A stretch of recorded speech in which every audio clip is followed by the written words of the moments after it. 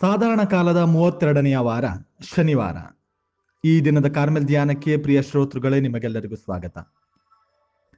ಸಂತ ಲೂಕನು ಬರೆದ ಶುಭ ಸಂದೇಶದಿಂದ ವಾಚನ. ನಿರಾಶರಾಗದೆ ನಿರಂತರವಾಗಿ ಪ್ರಾರ್ಥನೆ ಮಾಡಬೇಕು ಎಂಬುದನ್ನು ಕಲಿಸಲು ಯೇಸು ಸ್ವಾಮಿ ತಮ್ಮ ಶಿಷ್ಯರಿಗೆ ಈ ಸಾಮರ್ಥ್ಯವನ್ನು ಹೇಳಿದರು. ಒಂದು ನಗರದಲ್ಲಿ ಒಬ್ಬ ನ್ಯಾಯಾಧೀಶನಿದ್ದ. ಅವನು ದೇವರಿಗೂ ಭಯಪಡುತ್ತಿರಲಿಲ್ಲ, ಮಾನವರಿಗೂ ಲಕ್ಷ್ಯ ಕೊಡುತ್ತಿರಲಿಲ್ಲ. ಅದೇ ಊರಿನಲ್ಲಿ ಒಬ್ಬ ವಿಧವೆ ಇದ್ದಳು. ಅವಳು ಪದೇ ಪದೇ ಅವನ ಬಳಿಗೆ ಬಂದು, ನನ್ನ ವಿರೋಧಿ ಅನ್ಯಾಯ ಮಾಡಿದ್ದಾನೆ, ನನಗೆ ನ್ಯಾಯ ದೊರಕಿಸಿಕೊಡಿ ಎಂದು ಕೇಳಿಕೊಳ್ಳುತ್ತಿದ್ದಳು. ಬಹುಕಾಲ ನ್ಯಾಯಾಧೀಶನು ಅವಳಿಗೆ ಕಿವಿಗೊಡಲೇ ಇಲ್ಲ. ಕೊನೆಗೆ ಅವನು, ನಾನು ದೇವರಿಗೆ ಹೆದರುವವನಲ್ಲ, ಮಾನವರಿಗೆ ಲಕ್ಷ್ಯ ಕೊಡುವವನೂ ಇಲ್ಲ.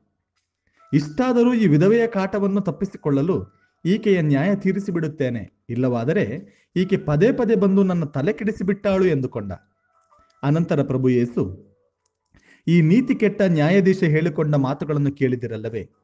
ಹೀಗಿರುವಲ್ಲಿ ದೇವರು ತಾವಾಗಿ ಆಯ್ಕೆ ಮಾಡಿಕೊಂಡ ಜನರು ಹಗಲು ರಾತ್ರಿ ತಮಗೆ ಮೊರೆ ಇಡುವಾಗ ನ್ಯಾಯ ತೀರಿಸದೆ ಹೋಗುವರೆ ತಡ ಮಾಡಿಯಾರೆ. ಶೀಘ್ರವಾಗಿ ಅವರಿಗೆ ನ್ಯಾಯ ದೊರಕಿಸಿಕೊಡುವರೆಂದು ನಿಮಗೆ ಹೇಳುತ್ತೇನೆ. ಇಷ್ಟಾದರೂ ನರಪುತ್ರನು ಬರುವಾಗ ಜಗತ್ತಿನಲ್ಲಿ ವಿಶ್ವಾಸ ಇರುವುದನ್ನು ಕಾಣುವನೋ ಎಂದರು. ಪ್ರಭುವಿನ ಶುಭ ಸಂದೇಶವಿದು. ಕ್ರಿಸ್ತರೇ, ನಿಮಗೆ ಸ್ಥಿತಿಯಾಗಲಿ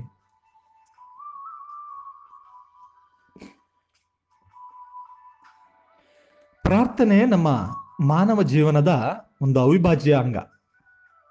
ಯಾರು ದೇವರಲ್ಲಿ ವಿಶ್ವಾಸಿಸುತ್ತಾರೆ ಅವರು ಪ್ರಾರ್ಥನೆಯಲ್ಲಿ ವಿಶ್ವಾಸಿಸುತ್ತಾರೆ ಯಾರು ದೇವರನ್ನು ವಿಶ್ವಾಸಿಸುತ್ತಾರೆ ಅವರು ಈ ವಿಶ್ವಾಸದಲ್ಲಿ ಬೆಳೆಯಲು ಪ್ರಾರ್ಥನೆಯಲ್ಲಿ ತೊಡಗುತ್ತಾರೆ.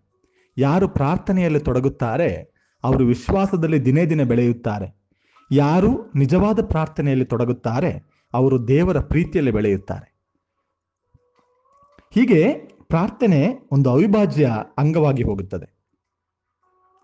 ಪ್ರಾರ್ಥನೆಯಲ್ಲಿ ನಾವು ನಮ್ಮ ಜೀವನಕ್ಕೆ ದೇವರು ನೀಡಿರುವ ಉದ್ದೇಶವನ್ನು ಅರಿಯಲು ಸಾಧ್ಯವಾಗುತ್ತದೆ. ಪ್ರಾರ್ಥನೆಯಲ್ಲಿ ದೇವರ ಚಿತ್ತವನ್ನು ಅರಿಯಲು ಸಾಧ್ಯವಾಗುತ್ತದೆ. ಪ್ರಾರ್ಥನೆಯಲ್ಲಿ ದೇವರನ್ನ ಆಲಿಸಲು ಸಾಧ್ಯವಾಗುತ್ತದೆ. ಪ್ರಾರ್ಥನೆಯಲ್ಲಿ ದೇವರನ್ನ ಸಂಧಿಸಲು ಸಾಧ್ಯವಾಗುತ್ತದೆ.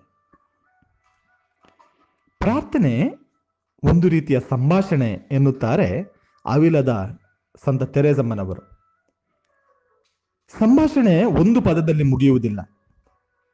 ಸಂಭಾಷಣೆ ಒಂದು ವಾಕ್ಯದಲ್ಲಿ ಮುಗಿಯುವುದಿಲ್ಲ.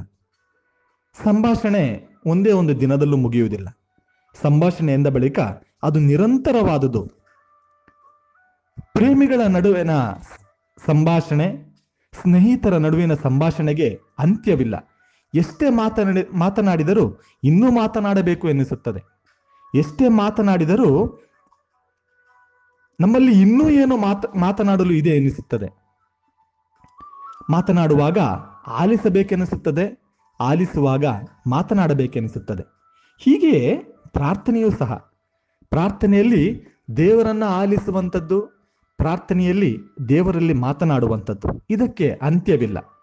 ಆದ್ದರಿಂದಲೇ ನಿಮ್ಮ ಪ್ರಾರ್ಥನೆ ನಿರಂತರವಾಗಿರಬೇಕು. ನಿಮ್ಮ ಪ್ರಾರ್ಥನೆಯಲ್ಲಿ ನಿರಾಶರಾಗಬೇಡಿ. ನಿಮ್ಮ ಪ್ರಾರ್ಥನೆಯಲ್ಲಿ ವಿಶ್ವಾಸವಿರಲಿ, ಆ ವಿಶ್ವಾಸದಲ್ಲಿ ದೃಢತೆ ಇರಲಿ, ಆ ದೃಢತೆಯಲ್ಲಿ ಅನವರತೆ ಇರಲಿ ಎಂಬುದಾಗಿ ಯೇಸು ಕ್ರಿಸ್ತರು ತಿಳಿಸುತ್ತಾರೆ. ಪ್ರಾರ್ಥನೆಯಲ್ಲಿ ನಾವು ಧೃತಿಗೆಡದೆ ಪ್ರಾರ್ಥನೆಯಲ್ಲಿ ನಾವು ನಿರಾಶರಾಗದೆ ಕ್ರಿಸ್ತನಲ್ಲಿ ಒಂದಾಗುವಂತಹ ಪ್ರಯತ್ನವನ್ನ ನಾವಿಂದು ಮಾಡೋಣ. ಯಾವ ಪ್ರಾರ್ಥನೆಯೂ ದೇವರಿಂದ ಆಲಿಸಲ್ಪಡದೆ ನಾಶವಾಗಿ ಹೋಗುವುದಿಲ್ಲ. ನಮ್ಮ ಪ್ರಾರ್ಥನೆ ದೇವರ ಚಿತ್ತಕ್ಕೆ ಅನುಗುಣವಾಗಿದ್ದರೆ ಖಂಡಿತವಾಗಿಯೂ ದೇವರು ನಮಗೆ ಅದನ್ನು ಕರುಣಿಸಿಯೇ ಕರುಣಿಸುತ್ತಾರೆ. ಪ್ರಾರ್ಥನೆಯಲ್ಲಿ ಕೇವಲ ನಮ್ಮ ಚಿತ್ತವನ್ನು ಬಯಸದೆ ದೇವರೇ, ನೀವು ನನ್ನ ಜೀವನಕ್ಕೆ ಯಾವ ಉದ್ದೇಶವನ್ನು ನೀಡಿದ್ದೀರಿ, ಆ ಉದ್ದೇಶವನ್ನು ಸಂಪೂರ್ಣಗೊಳಿಸಲು ನನಗೆ ಶಕ್ತಿ ನೀಡಿ. ಕಷ್ಟವಾಗಿದ್ದರೆ ಆ ಕಷ್ಟವನ್ನು ಸಹಿಸಿಕೊಳ್ಳಲು ನನಗೆ ಶಕ್ತಿ ನೀಡಿರಿ. ಸುಖವಾಗಿದ್ದರೆ ಆ ಯಾವುದು ಸುಖ ಅದವನ್ನ ನಿಮ್ಮ ಚಿತ್ತಕ್ಕನುಸಾರವಾಗಿ ಸಂತೋಷಿಸಲು ನನಗೆ ಅನುಗ್ರಹ ನೀಡಿ. ಸುಖದಲ್ಲಿ ನಿಮ್ಮೆಂದು ದೂರವಾಗದೆ, ದುಃಖಲ್ಲಿ, ದುಃಖದಲ್ಲಿ ನಿಮ್ಮನ್ನ ದೂರದೆ ಇರಬೇಕಾಗಿ, ಇರಬೇಕಾಗಿರುವ ಆ ಶಕ್ತಿಯನ್ನ, ವಿಶ್ವಾಸವನ್ನ, ಅಗಾಧವಾದ ಪ್ರೇಮವನ್ನ ನನಗೆ ದಯಪಾಲಿಸಿರಿ ಎಂದು ಪ್ರಾರ್ಥಿಸೋಣ. ಪ್ರಾರ್ಥನೆ ಮಾಡುವ ವ್ಯಕ್ತಿ ದೇವರಿಗೆ ಹತ್ತಿರದವನಾಗಿರುತ್ತಾನೆ. ಪ್ರಾರ್ಥನೆ ಮಾಡುವ ವ್ಯಕ್ತಿ ಕಷ್ಟದಲ್ಲೂ ಸಂತೋಷ ಸಂತೋಷದಲ್ಲಿರುತ್ತಾನೆ. ಪ್ರಾರ್ಥನೆ ಮಾಡುವ ವ್ಯಕ್ತಿ ಯಾವಾಗಲೂ ಸಂತೋಷದಿಂದಿರುತ್ತಾನೆ. ಯಾವಾಗಲೂ ಆ ದೇವರ ಪ್ರೇಮವನ್ನ ತನ್ನ ನಗುವಿನಲ್ಲಿ, ತನ್ನ ಕಾರ್ಯಚಟುವಟಿಕೆಗಳಲ್ಲಿ ಪಸರಿಸುತ್ತಾನೆ. ಅಂತಹ ವ್ಯಕ್ತಿಗಳಾಗಲು ಬೇಕಾದ ವರಪ್ರಸಾದಗಳನ್ನ ಇಂದು ವಿಶೇಷವಾಗಿ ಸರ್ವಶಕ್ತ ದೇವರಲ್ಲಿ ಪ್ರಾರ್ಥಿಸೋಣ. ಆಮೇನ್. ಇದು ಮೈಸೂರಿನ ಪುಷ್ಪಾಶ್ರಮದ ಬಾಲಯೇಸುವಿನ ಪುಣ್ಯಕ್ಷೇತ್ರದ ಕಾರ್ಮೆಲ್ ಸಭೆಯ ಯಾಜಕರ ಕೊಡುಗೆ.